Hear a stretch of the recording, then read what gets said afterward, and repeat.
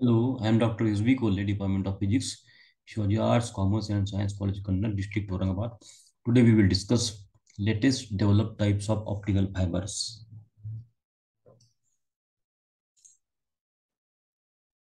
So friends, there are four types of latest developed optical fibers.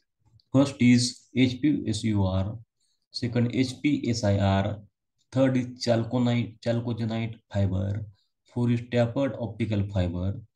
Now first HPSUR type of optical fiber. Now it is high purity silica gel silica fiber. It is used to transmit light in the range of 200 to 800 nanometer. It is coated with aluminum and it can be used up to 400 degrees Celsius and also it is very cheap. Second type is HPSIR.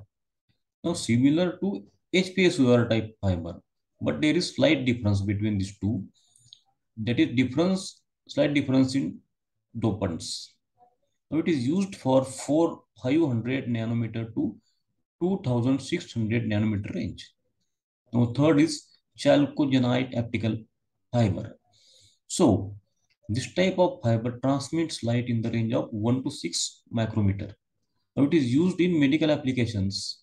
Now its core material used is AS2, S3. Now fourth is tapered optical fiber. Now this fiber has larger diameter at the receiving end and its diameter goes on decreasing just like tapering. It is used in low quality laser beams. Thank you.